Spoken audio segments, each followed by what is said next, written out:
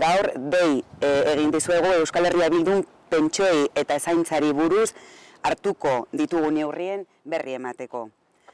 Nafarrako e, biztaneriaren euneko hogei, irurogeita bost urte baino gehiago ditu. Eta biztaneriaren zahartzea errealitatea da. Horregatik, Euskal Herria Bildutik adineko pertsona guztientzako bizi baldintzak duinak bermatzeko lanean ari gara. Alde batetik, gastuei aurre egiteko diru sarrera nahikoak izan behar dituzte. Eta beste aldetik, behar dituzten zaintzak jasotzeko eskubidea bermatu behar zaie.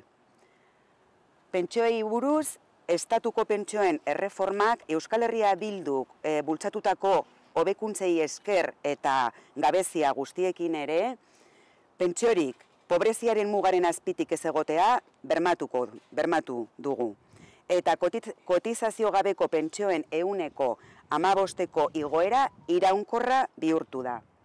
Testinguru horretan, Nafarroan amalau ordainsaritan gutxieneko pentsioak mila larogei euroraino osatu al izatetik gertuago gaude.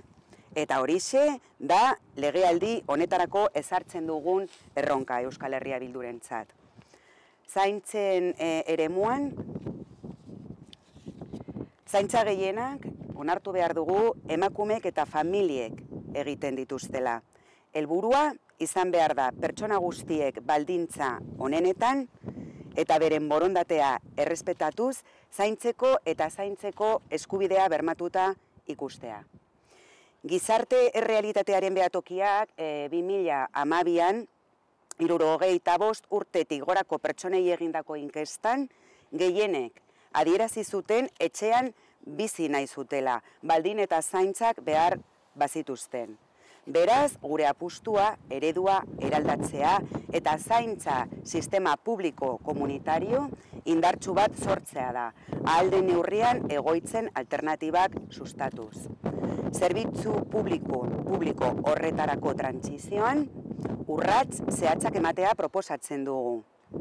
Eta gure proposamenak e, hauek dira egunero zentroen zerbitzua Nafarroa osora edatzea, etxe zetze arreta zerbitzua indartzea eta unditzea arratsaldeetan eta asteburu, asteburuetan eta horrela arreta bermatzeko, eta errezidentzia plana publikoak sortzea eredu merkantilistatik kanpo. Labur bilduz, Euskal Herria bildun, adineko pertsona guztientzako, bizitza duina bermatzeko lanean jarraituko dugu.